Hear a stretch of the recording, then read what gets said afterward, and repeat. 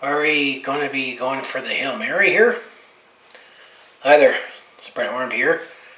Welcome back to my YouTube channel here. And what I mean here is definitely going to talk a little more on some updates on the Canadian Football League, the CFL here. And uh, you definitely got to wonder maybe there could still be a Hail Mary in terms of having a 2020 season here. As there's definitely, CFL's been in the news recently, mostly on, you know, obviously with the global pandemic, with the COVID-19 or coronavirus here, and especially when all leagues were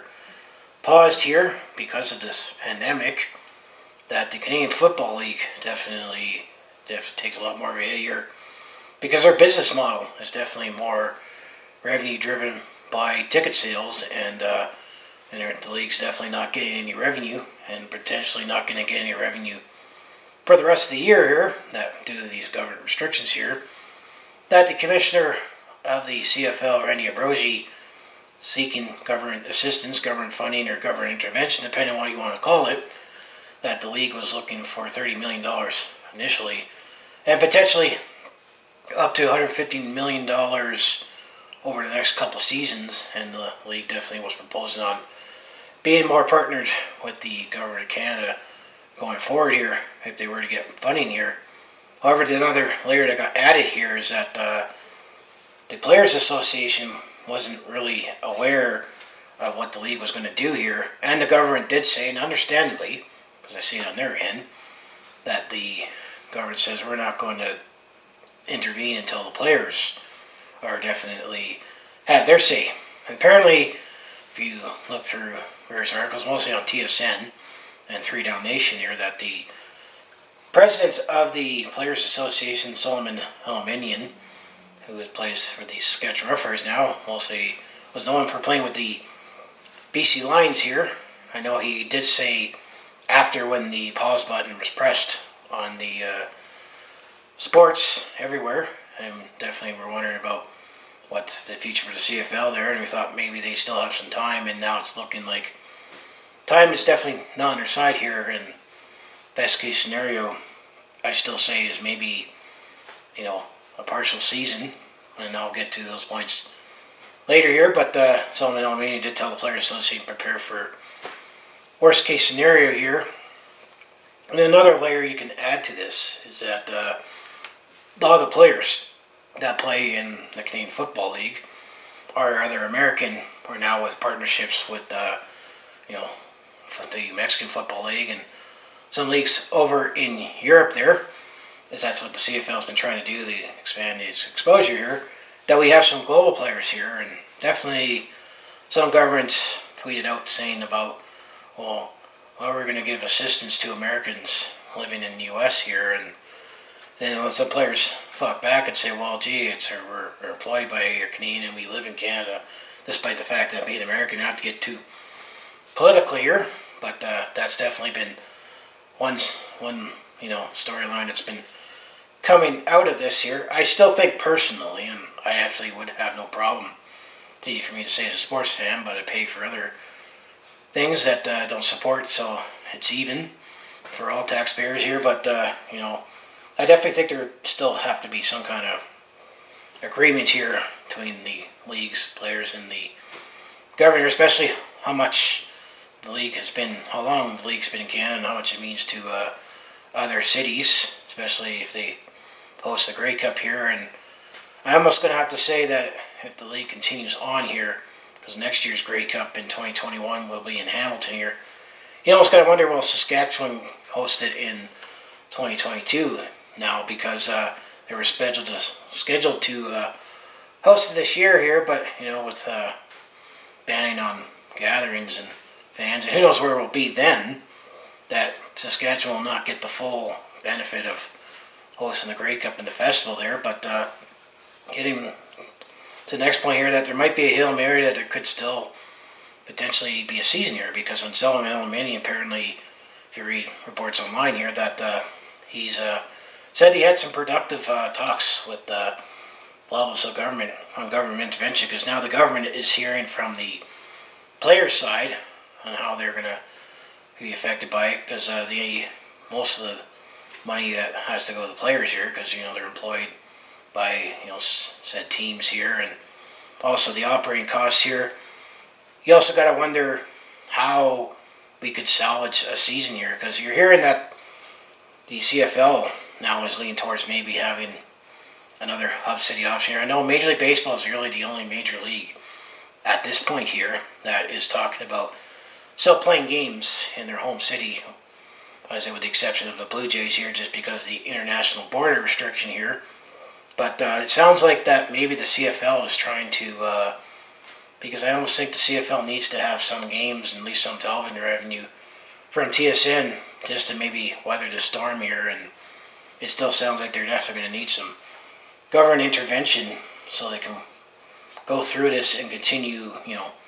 into the future here to hopefully have games here. But it sounds like maybe, and that's the other thing I was thinking of too, that uh, if there was going to be a CFL season, there'll be a couple hub cities, and I'm almost thinking, well, maybe Vancouver could be one for the west side, and probably you could say Toronto or maybe Montreal for the could be the other for the east because I think the only way that there was going to be a season this season is if the season does not start until Labor Day and have like an eight nine game season and you play only teams in your division in a hub city here. Maybe you can play uh, that's the other thing too is how would you play the games? Like would you have uh, back yeah you almost have to think you could probably play two games Friday and two games Saturday somehow. Have a different, you know, locker rooms. That's that, this is just my speculation at this point here, and derive a schedule from that. And then not too sure how they'd figure out Grey Cup if they were still to have it, because you don't know about these restrictions. And I know many states and Canadian provinces have their phases on reopening things, and uh, definitely the last last thing is gatherings at sporting events and concerts here, and and some provinces even all said outright that, uh, hey, it ain't going to happen this year. I mean, unless something dramatically changes, unless there's like a vaccine or effective treatment to this. You got, I had to throw in effective treatment because who knows if there maybe there won't be a vaccine. We might have to live with this. I know that uh, you can technically consider HIV and AIDS. I know it's caught from different activities, high risk. I'll just leave it at that technically that could still be considered pandemic and it's been going on for over 30 years and there's no vaccine for that but there's effective treatment. That's why i have to say that in my videos here just so that we could still be waiting for a vaccine for decades. Who knows? But uh, that's where it's going to be last that leagues will be able to have fans again. And uh, you know this could also be a chance for me the cfl to find a new business model as well, so it's not as dependent on fans here. But uh, you know, this definitely keeps evolving here. I mean, I'm not surprised that the league looked for government intervention here, and I know Randy Ambrosie.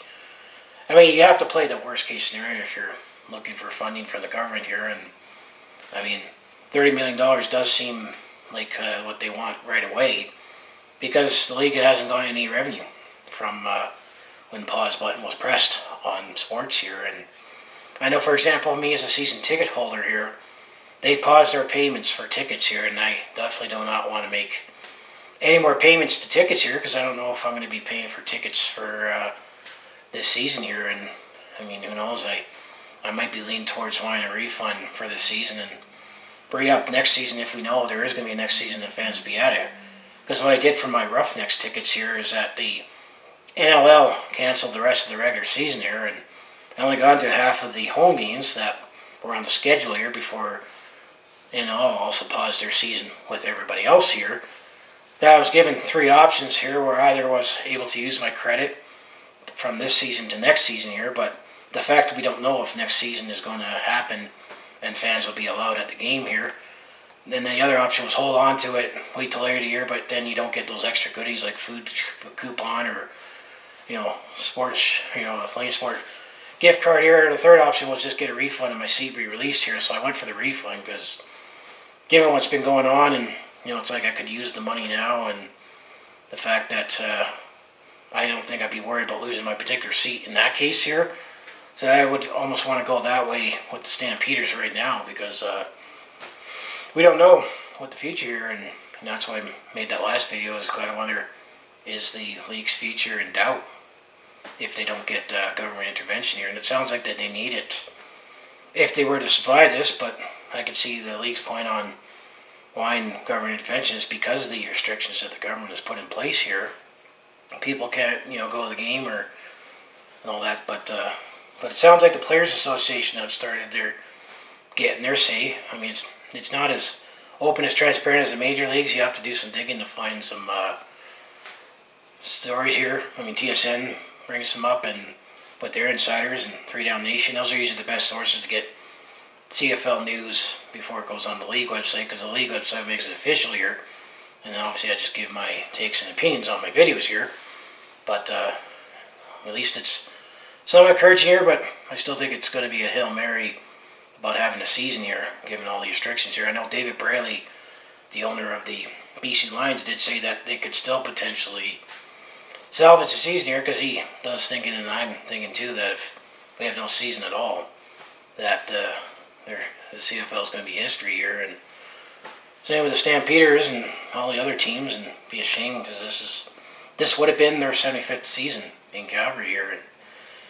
we're not going to have any official celebrations here, and that's probably going to have to get put off till next season, assuming we get through this and fans would be back at the game here. But what do you think about you know where the CFL's at right now? I mean, at least it's nice to know that the Players Association are now talking to the government based on what I'm seeing out there, and maybe the mood could change just a little. That because uh, even TSN with their articles say that there's some maybe optimism that there's still going to be some kind of a season, possibly hub cities, and I'm thinking the only way it will work is have two hub cities, west and east, and have all your west opponents play each other only, and east opponents play only, you know, after Labor Day, which seems to be that date where uh, you can have a half season and figure out playoffs from there, and Grey Cup or a championship. But uh, it's definitely not going to be the the usual Grey Cup. Because it's not like tomorrow we're going to, even then it's, you know, going to have to still recover from this and say we're all together. So anyway, if you want to follow along with this Calgary sports fans journey, all the Flames, Hitmen, Roughnecks, and Stampeders, I mostly talk Calgary sports on my channel. I also do uh, personal logs, attempt to comedy, and also do share my experience when I say at a sport event or on the road there. So if that all sounds like it'd be interesting to watch, do follow along with this Calgary sports fans journey you know what you need to do. I also have my other social media links down in the description below there for other ways you can follow along here. So as I say, go Stamps go, and hopefully, uh, you know, maybe we'll still have a season, and I'll talk games and give game day posts, and my Calgary Stampeders this month be abbreviated season three. Hopefully, eventually that is, but uh, you know, I've been making update videos on what I've been hearing on all the major league sports here lately, just something to look back on and ride the waves of emotions every week on all the ideas you've been hearing here and something to look back on in retrospect there. So as I say, I'll see you in the next video here.